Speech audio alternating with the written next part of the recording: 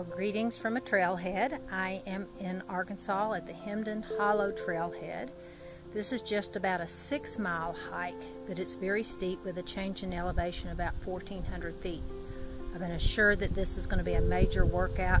Hopefully I can do it and find my way back out. I'm trying out a new backpack. I have my tripod, my walking sticks, my water bottle, and of course my camera and goodies. We will see how it all comes together on this hike. Wish me luck.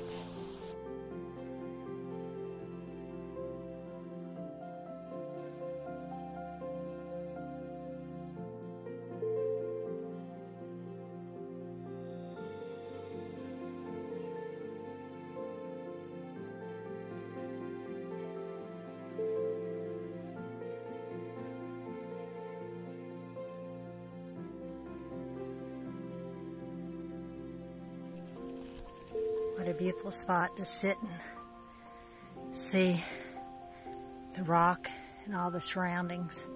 Still have a long way to go down, but nice to stop and see this view.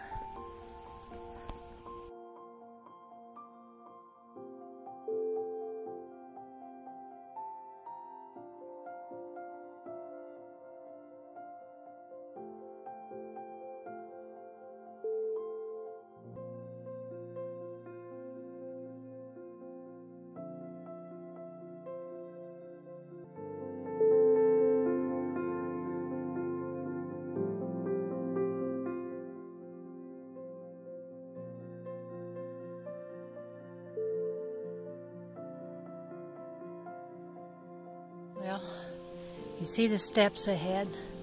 This has been a huge part of this trail, and they are a bit wicked in my opinion, period. Never been a fan of rock steps. The first two and a half miles were pretty steadily downhill with very little level, and that was even taxing. Going uphill, obviously, has been quite wicked.